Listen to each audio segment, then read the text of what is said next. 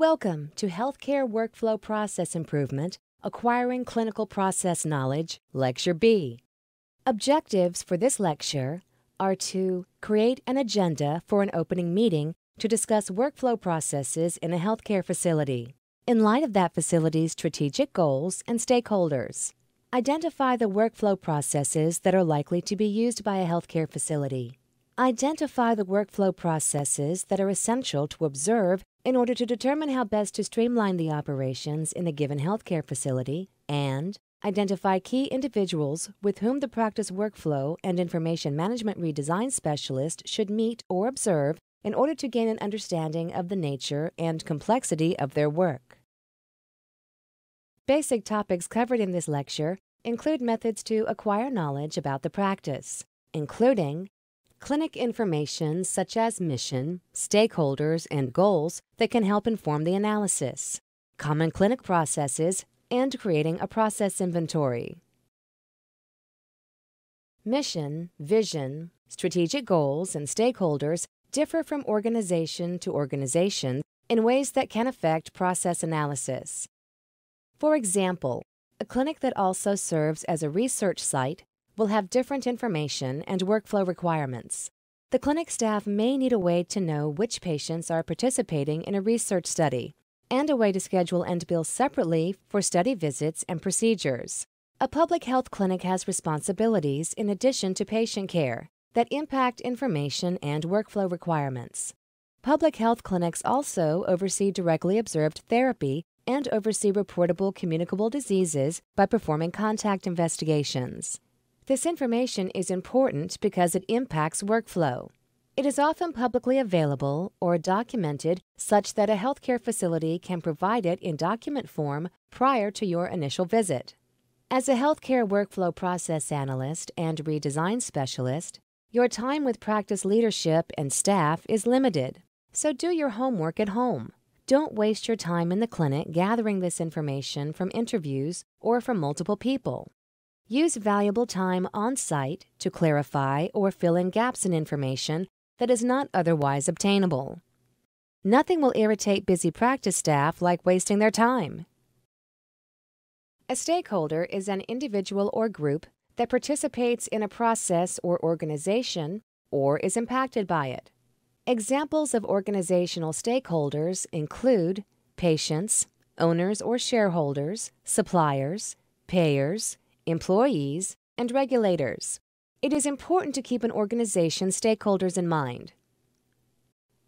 Acquiring knowledge means learning how the practice performs each of its core functions.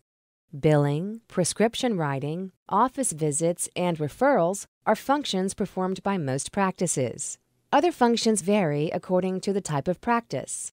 For example, a small practice may draw blood but may not perform any lab tests, while large practices may draw blood and have the equipment necessary to perform common blood based lab tests. The lab tests, other diagnostic tests, and procedures vary by practice size and speciality. Remember, the goal is to obtain enough information about a process to create a process diagram or to document the process in writing. The written document allows you to check your understanding with others to make sure you have the information correct. Then you can analyze the process and leverage Health IT where appropriate. Your first step in knowledge acquisition is to develop a list of the main processes at a clinic. We'll call it a process inventory. I mentioned identification of major processes in use at a healthcare facility in Unit 1 the concepts of healthcare processes, and process analysis. After the processes are listed, the analyst works with leadership at the healthcare facility to identify those that are of high priority for analysis and improvement. All of the processes can't be assessed in the time available. Some can't be feasibly improved with the available resources. For others, the gain would be too small to make the effort worthwhile. Still, others can be improved, but by means other than the use of Health IT. After the processes for analysis have been identified, the analyst, working with people from the clinic, creates diagrams of the processes. These graphical representations of the process are used in the process analysis and redesign. We start with the process inventory and diagrams because Sometimes they are all that is needed, and they point to areas where different types of objective information may be needed. Unit 2, Process Mapping, Theory and Rationale, covers creating process diagrams. The current unit assumes that students are familiar with at least one method of creating a graphical representation of a process. For example, a flowchart. Some processes are very important, and if the process of interest is not operating well, patient care or practice productivity may suffer. These are high priority processes. Other processes are less significant in terms of patient care and operations you will likely have to concentrate on high priority processes, those that can be improved and those that can be improved through Health IT. A process inventory is a list of the main processes used by a practice. Common clinic processes include patient check-in, patient visit, writing prescriptions, assimilating received documentation, collecting specimens for laboratory analysis and other diagnostic tests, referrals to other specialists and consultations, disease management, and billing.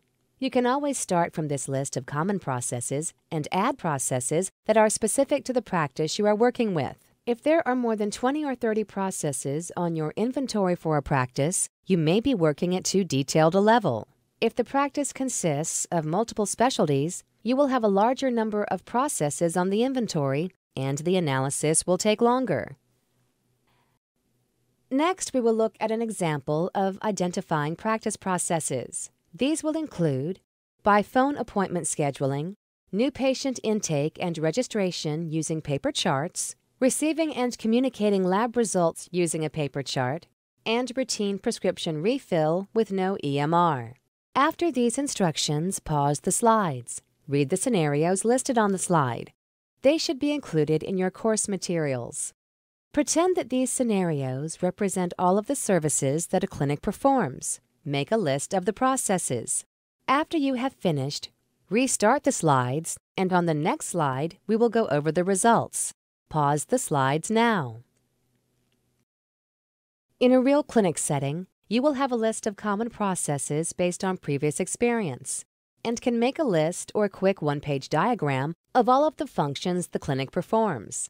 In this exercise, you did not have that opportunity. You had to go by what was explicitly stated in the scenario and what other processes are implied.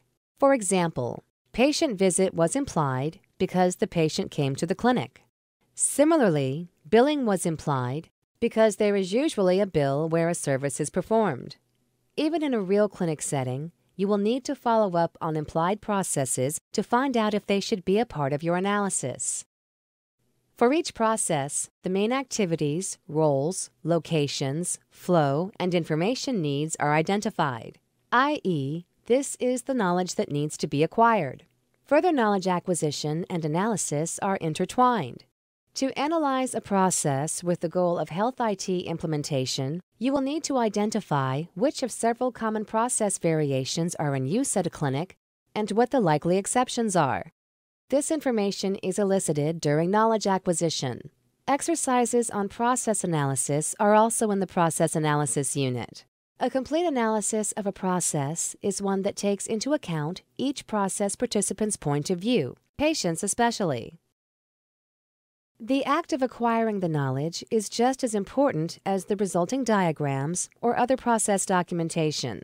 An analyst goes through a period of learning when seeking the information to create process diagrams, delineating the process steps, their sequence, how that sequence is decided, who or what performs process steps, where the steps are performed, and what the information needs are, is a structured way for analysts and practice staff alike to view the process from a different perspective.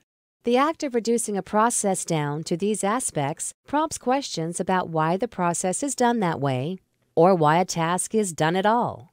The act of acquiring knowledge is often where process problems or opportunities for improvement are identified.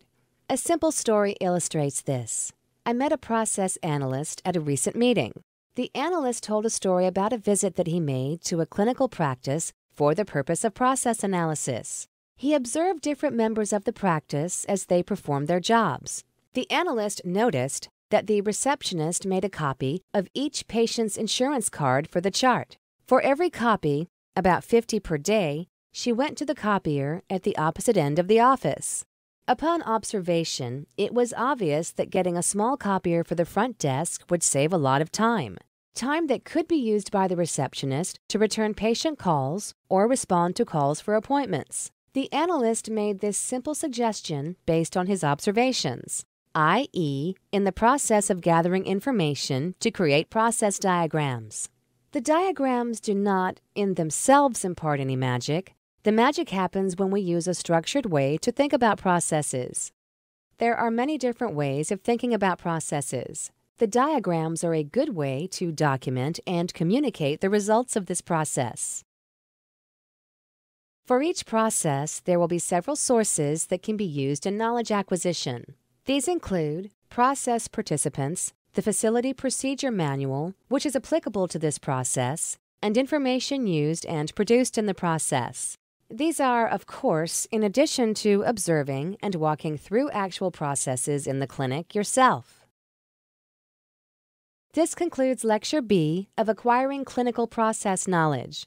In this lecture, we covered methods to acquire knowledge about the practice, including clinic information such as mission, stakeholders, and goals that can help inform the analysis, common clinic processes, and creating a process inventory.